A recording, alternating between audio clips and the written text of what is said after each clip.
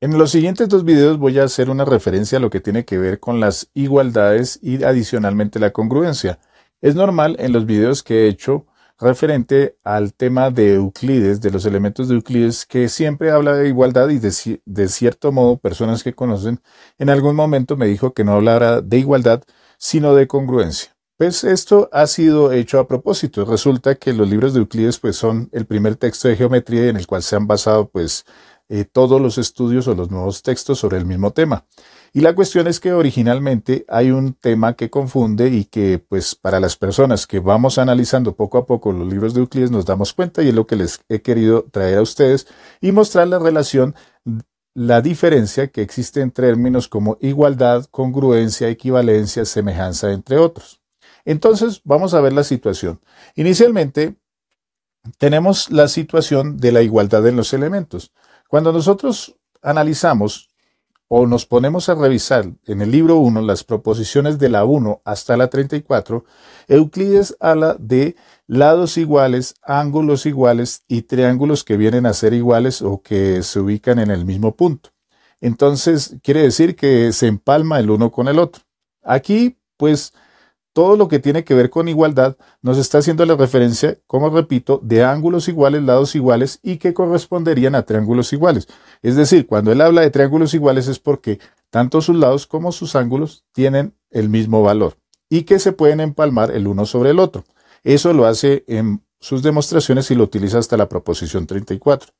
Pero ¿qué pasa? Después de la proposición 34 entramos a la 35 y empieza a hacerse un análisis entre paralelas para ver la relación que hay entre ciertos polígonos. De la 34 y lo que resta por el capítulo 1 y en otros capítulos, pues hay que tener en cuenta que él empieza a hablar de igualdad y ahí las personas se van a confundir porque van a resultar triángulos que no tienen las mismas longitudes de sus lados ni a veces los mismos ángulos. La relación cuando él habla de igualdad es con respecto al área.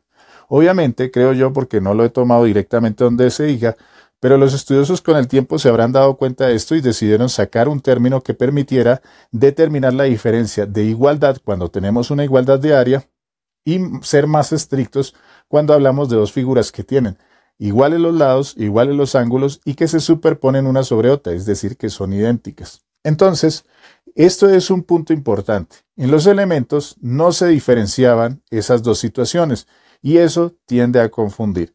Por lo tanto, se ha desarrollado, eh, vamos a hablar con el tiempo de diferenciar cuando un objeto tiene el área igual y también diferenciar cuando un objeto es más estricto, que tienen la misma área, pero a la vez sus lados y sus ángulos son iguales.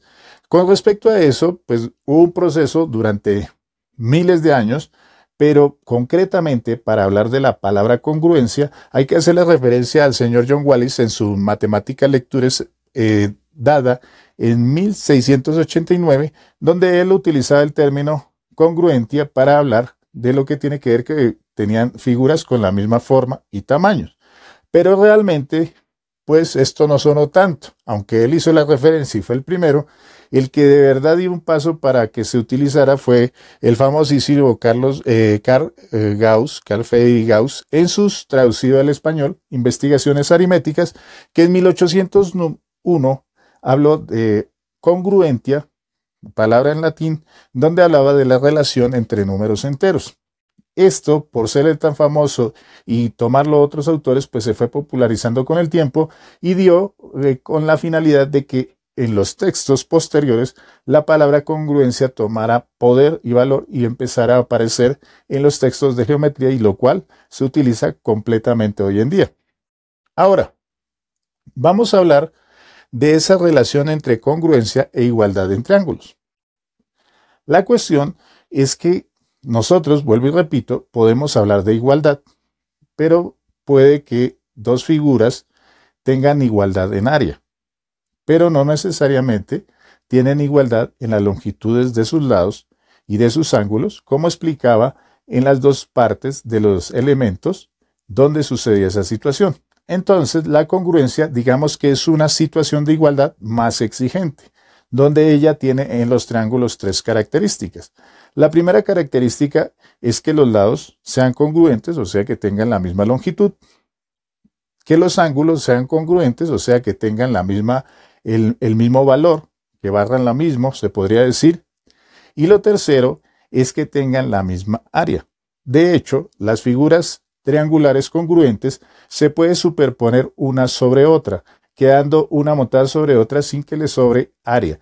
Tienen la misma área y casan perfectamente. Eso es la explicación básica que tiene que ver con los triángulos. Obviamente, si dos triángulos tienen los lados iguales y los ángulos iguales, está implicando de que el área entre ellos va a ser igual. Hay que tener en cuenta que los lados que casan en unos triángulos generalmente se les llama correspondientes u homólogos. Ahora, vamos a hablar de la congruencia e igualdad en los demás polígonos de cuatro lados o más. En estas sigue las mismas reglas. La primera regla que debe seguir es que deben tener lados iguales. La segunda es que para que sean congruentes también deben tener pues congruentes sus ángulos. Pero viene otra característica. También implica que sus diagonales sean congruentes, es decir, las diagonales de esos polígonos que van entre vértice y vértice tengan la misma longitud y adicionalmente que esos vértices se crucen en los mismos puntos. Con esos requerimientos es suficiente para entender que también tendrán la misma área, pero si se quiere anotar, entonces estas figuras tienen que tener la misma área. Y ahí está el concepto que es bueno aclarar. De aquí en adelante, en los videos que haré sobre el tema de Euclides, ya empezaré a diferenciar y a hablar estrictamente de congruencia de triángulos y me referiré a igualdad cuando hablemos de igualdad de área, porque desde aquí, desde este momento, empieza esa diferenciación. Entonces es importante tener claros esos conceptos. En el segundo video les ampliaré más detalles sobre estos temas tan interesantes y la diferencia entre equivalencia, semejanza y congruencia. Espero que les guste. Nos vemos en un próximo video.